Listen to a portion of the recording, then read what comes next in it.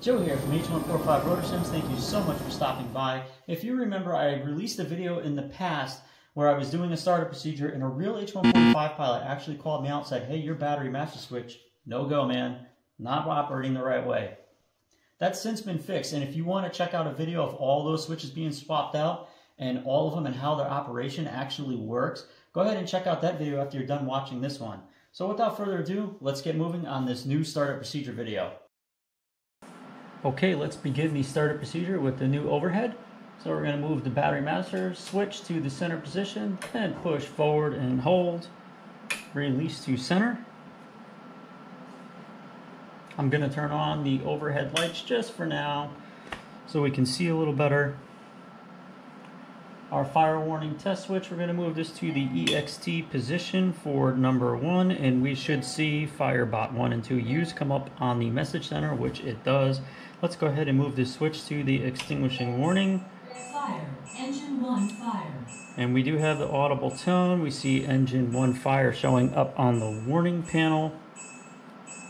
And Firebot 1 and 2 test. So let's go ahead and move this to the off position and repeat this procedure for fire test number 2.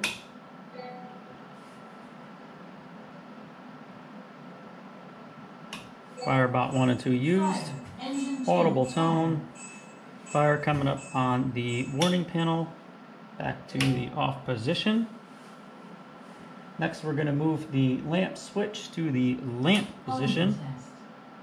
And we have low fuel, we have BAT, engine 1, rotor RPM main, gear, box oil pressure, engine 2, AP, low fuel, and cargo smoke is what we're looking for.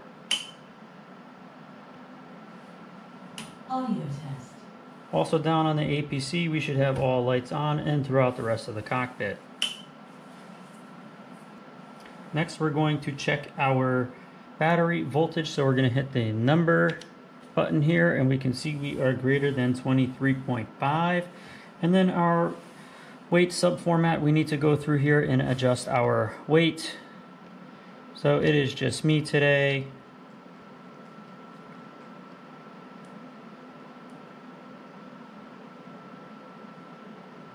Validate. Previous. Now in our message center, we should see engine 1 and 2 fail, which we do. We should have aft and forward fuel pump, which we do. Also our power up test okay, that is all set. So wait for alignment on baro as required. So for the baro, for now, I'm just going to go ahead and toggle on the baro and go to standard. I'll do the same thing here. And then for the Copilot MFD, I'll get that on and we'll take care of that as well.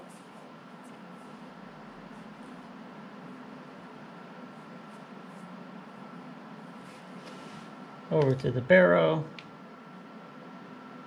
standard, and then we're going to go ahead and turn off the baros here.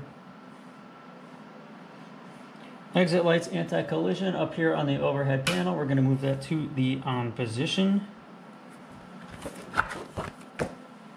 Next, we're going to turn on our fuel pump 1 and 2. And we should see this show up in our message center, which we see fuel 1 and fuel 2, two prime pump on. Now we're going to move to engine 1 idle.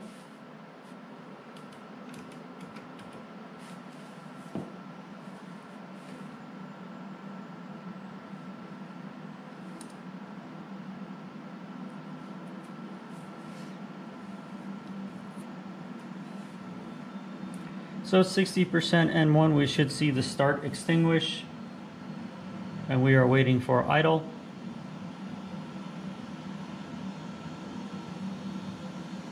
And there it is.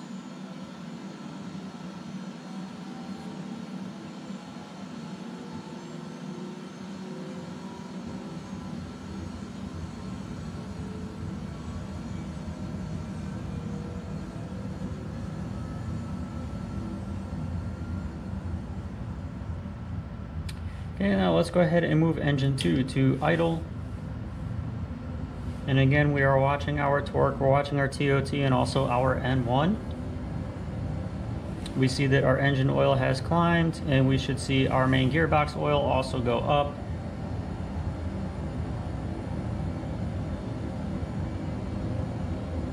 Down in the message center, we can see we have startup test okay.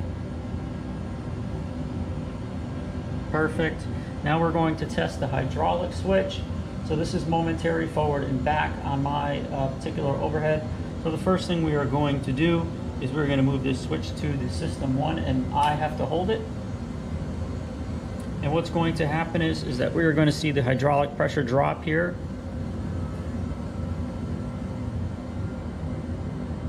We also see low pressure hydraulic 2.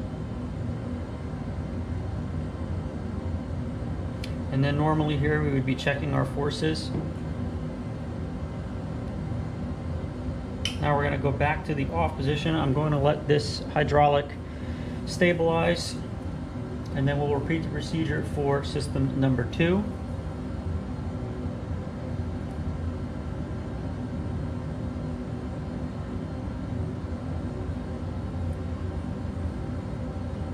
Okay, it is stable. Let's go to system number two. We should be looking for on the message center. We should see hydraulic one low pressure and hydraulic one TR shutoff, which we have.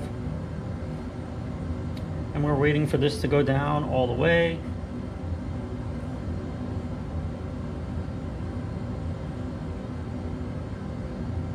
There's zero, and then we would be checking our hydraulic our forces. We're going to move this back to the off position.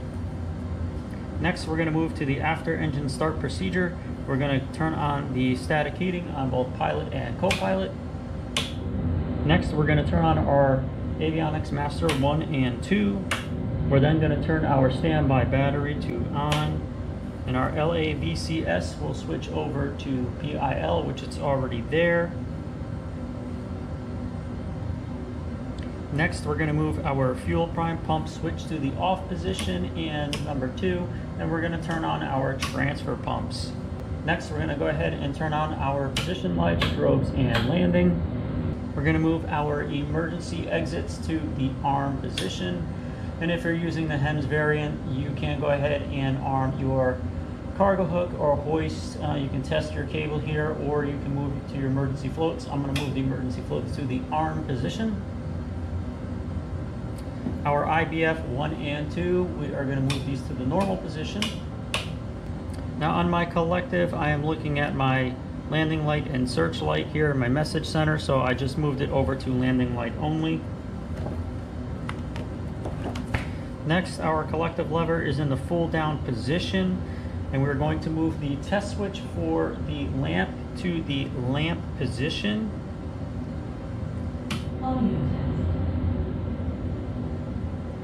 Checking our lights once again. Now let's go ahead and move over to pre-flight and we're going to hold this switch. So it says in the message center P-flight test. We're looking for P-flight test OK.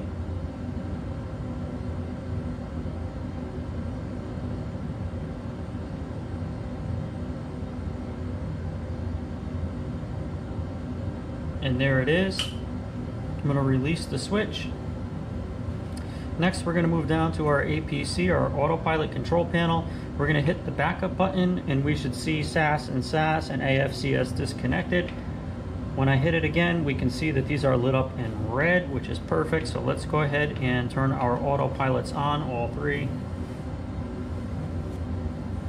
Now we're going to move our engine one and two switch to the flight control, but you can also, if you have beep trim, this would be the time to check your beep trim. So my cyclic, as you can see, I am moving it and it's on my iPad. I also have my other beep trim on my collective, so I'll check that as well. And all four positions on each flight control is working properly. Let's go ahead and move our engines to the flight.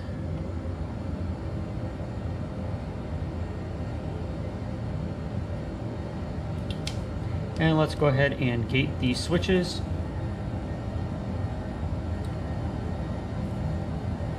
And we should also have our lights go ahead and clear in just a moment. We'll wait for the rotor RPM to extinguish after we climb up in power.